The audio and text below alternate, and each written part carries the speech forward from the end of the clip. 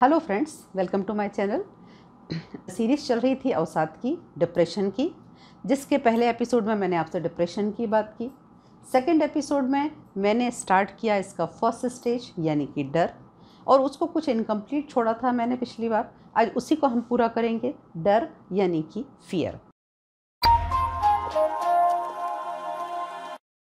America की बात है। अमेरिका में एक कैदी को जब फांसी की सज़ा दी गई तो कुछ वैज्ञानिकों ने, कुछ साइंटिस्ट ने सोचा, क्यों ना हम थोड़ा सा चेंज करते हैं। और उन्होंने कहा उसको कि इसको फांसी की सज़ा नहीं देते हैं, बल्कि इसको हम कोबरा सांप से कटवाएँगे और इस तरह से हम इसको मौत के घाट उतारेंगे। और ये बातें बाकायदा कैदी ने सुनी, फांसी का दिन आया और उसको बाकायदा पूरी तरह से तैयार किया गया। और उसको पता था कि मुझे कुछ ही देर बाद सांप से कटवा दिया जाएगा। उसके सामने एक लाया गया, कोबरा भी लाया गया और उसकी आँखों पर काली पट्टी बाँध दी गई। कुछ समय पश्चात जो साइंटिस्ट थे, उन्होंने उसको सिर्फ़ एक छोटा सा पिन चुभो दिया और सेकंड्स में वो व्यक्ति मर चुका था। अब आप सोच सकते हैं कि क्या कोई व्यक्ति पिन से, पिन चुभोने से मर सकता है।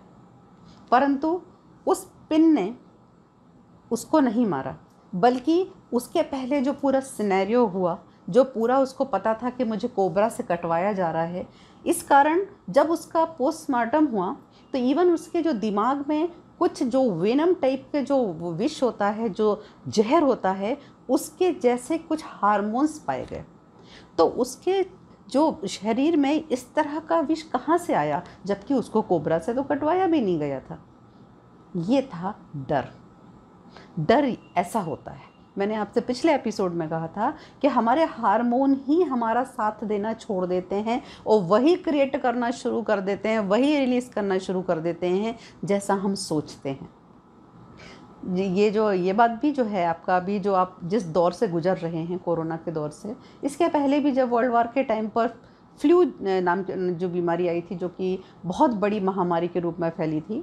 उस समय भी जो न्यूयॉर्क था, वहाँ के जो एक मेयर थे, उन्होंने सारे न्यूज़पेपर वालों को बुला के सिर्फ़ एक ही बात कही कि आप लोग अपने न्यूज़पेपर में फ्लू से रिलेटेड एक भी खबर नहीं छापेंगे। और आपको यकीन नहीं होगा कि within seventy five days वो बीमारी अंडर कंट्रोल थी। आज हमारे यहाँ भी लोग कोरोना से कम मर रहे हैं। लोग डर से ज़्यादा मर रहे हैं। जो बीमारी है, वो अपनी जगह है।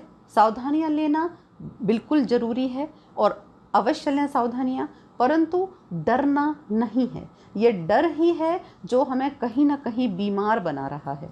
मेरे आसपास मैं बहुत लोगों को देख रही हूँ, जिनको डॉक्टर्स कुछ प्रिस्क्राइब नहीं कर रहे हैं, सिर्फ़ एक ही चीज़ प्रिस्क्राइब कर रहे हैं कि ना न्यूज़पेपर देखें, ना न्यूज़, ना आप चैनल देखें, आप कम से कम कोरोना से रिलेटेड खबरें सुने। तो ये क्या है? ये है डर। डर आपको बहुत हद तक कमज़ोर बना देता है। डर आपसे क्या क्या छीनता है? डर आपसे सबसे पहले आपका कॉन्फिडेंस छीन लेता है। एक डरा हुआ व्यक्ति अलग समझ में आता है, उसका कॉन्फिडेंस साथ छोड़ चुका होता है। डरा हुआ व्यक्ति कभी किसी भी चीज़ के लिए इनिशिएट नहीं कर सकता। कारण उसमें कॉन्फिडेंस ही नहीं है। डरा हुआ व्यक्ति कुछ इमेजिनेशन भी नहीं कर सकता। क्यों? क्योंकि वो अपने आप को बहुत कमज़ोर समझता है। डरा हुआ व्यक्ति कभी भी किसी भी कार्य को जब भी करेगा तो वो हमेशा फेलियर को सामने रखेगा। उसके सामने जो आदर्श होते हैं, जो मापदंड होते हैं, वो वो व्यक्ति होते हैं या वो केसेस होते हैं जो फेल होते हैं। आज लोग जो बच रहे हैं कोरोना बीमारी से ग्रसित होते हुए भी कई लोग बच रहे हैं। बहुत अच्छे तरीके से, बहुत कहना चाहिए इसकी मृत्यु दर बहुत अधिक नहीं है, उसके बावजूद भी लोग सिर्फ़ वही देख रहे हैं कि कितने लोग मर रहे हैं। तो इस तरह से डर आपका आत्मविश्वास, आपकी जो पहल करने की जो क्षमता है उसको डर आपकी जो कल्पना शक्ति है, आपकी इमेजिनेशन पावर है, उसको और डर सबसे बड़ी पावर है, आपके विल पावर को पूरी तरह से ख़त्म कर देता है। आपके अंदर वो रुचि, वो रोचकता, वो उमंग, वो उत्साह बचता ही नहीं कि हमें ज़िंदा रहना है। और बीमारी का डर हो, मौत का डर हो, बुढ़ापे का डर हो, गरीबी का डर हो, कोई भी डर हो परंतु आप सर्वशक्तिमान हैं। आपके पास बहुत पावर है। आप हर चीज़ से लड़ सकते हैं। तो इस डर से डरिए मत। अपने ब्रेन को, अपने दिमाग को बिल्कुल मौका मत दीजिए।